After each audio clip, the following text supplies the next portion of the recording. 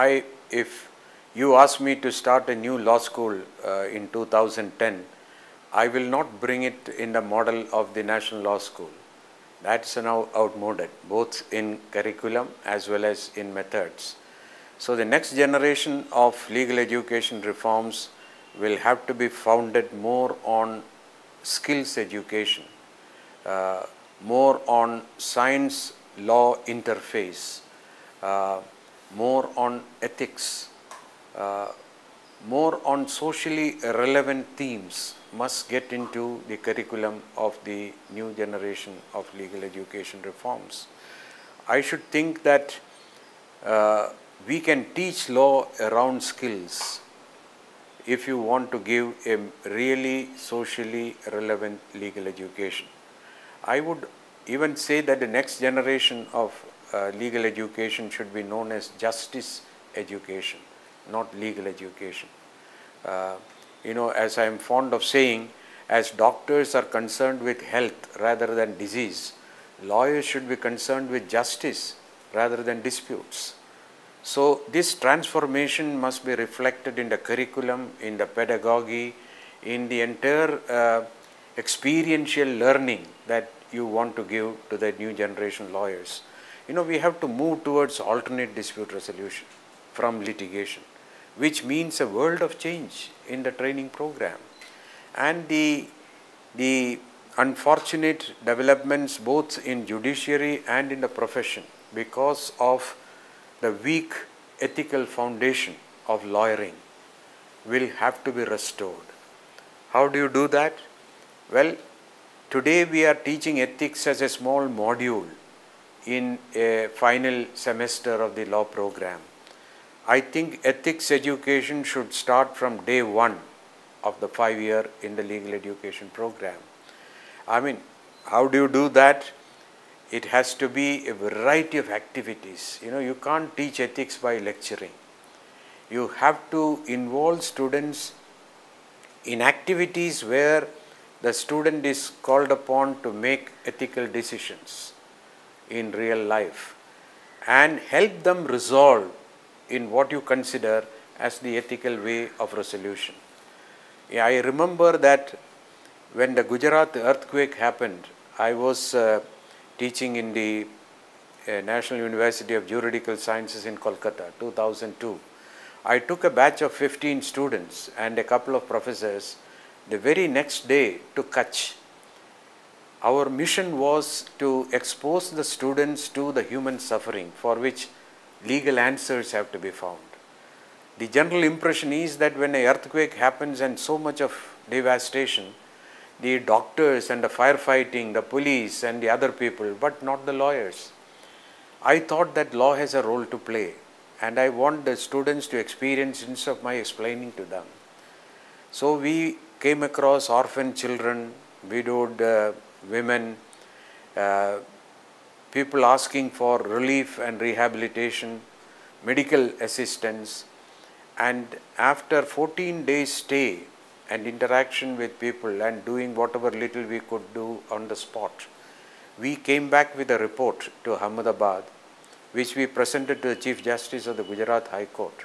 There was a PIL pending at that time, complaining about the rehabilitation, relief and all measures. The Chief Justice has acknowledged our report and mentioned in his judgment and gave some of the orders which we have said. We said that there must be a a, a NGO activity to collect these orphan children and see that they are given in adoption, uh, facilitate by procedures which are legally acceptable. We said there must be a team which should be legal aid team which should be assisting the people to get the provident fund money, the life insurance money without asking questions in the bureaucracy of the life insurance corporation. They have no document to produce. But the insurance corporation have the records. So I said that law has a very proactive role to play in such disasters. And the students, believe me you, there are a couple of people who are now working in Gujarat with NGOs. That is only because of the what they saw in real life in Kutch.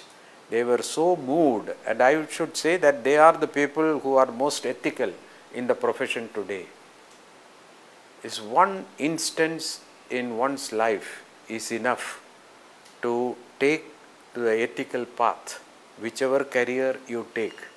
Of course, everybody needs money, but in your ethical dilemmas as a professional, how should you be, uh, which course you should be taking?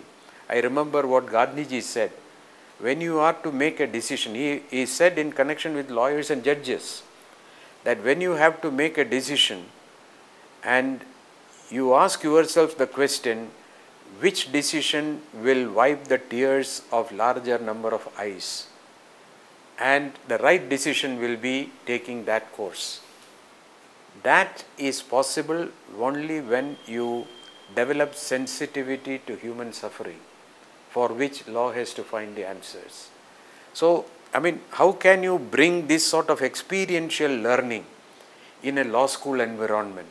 That is a question which the next generation of legal education will have to answer. Are you happy with the sort of academic research that's being conducted in law schools and the output coming from there? Where is academic research? I mean, I don't call it research. They are just, uh, you know, the, the initial uh, compiling from judgments and uh, uh uh, research report, uh, reports and something which is written elsewhere. It's called real research has not happened yet in legal education. We try to inculcate it in the new generation of lawyers, not the law teachers, but the law students, when we assign them what you call the projects in every subject and ask them to go and research in their own way, find a methodology and write 20 pages by way of a research paper.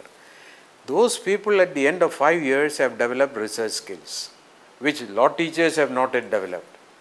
So, to cultivate a real research which are needed for our country today, what we are trying to do is uh, trying to do in the sense the government of India under the National Knowledge Commission of which I was also a member of their legal group recommended establishing five legal research centers, advanced research centers the central government should pay 50 crores to each center.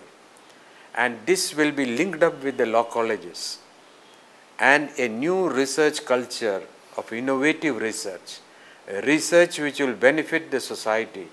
Research will lead to law reform or new legislations. All this will have to be developed by a research center which I believe cannot happen in the law school at present, but by a research center linked up with the law school so that eventually you will have as many law schools, as many research centers, maybe 10 years, 20 years hence. But this must happen as the government of India set up the, the Council of Industrial Research, you know, number of industrial research centers were set up to support industry. So similarly in, in uh, 2010, government of India should set up the law research centers to support the new generation of economic reform and access to justice for those who are outside the legal system. So that's what I want to say about research because research cannot be done merely by studying statutes and judicial decisions. You must take the social science research methods and bring it into the focus of law. That's what is to happen. Uh, I am told that the government has decided in principle to support legal research uh, like that.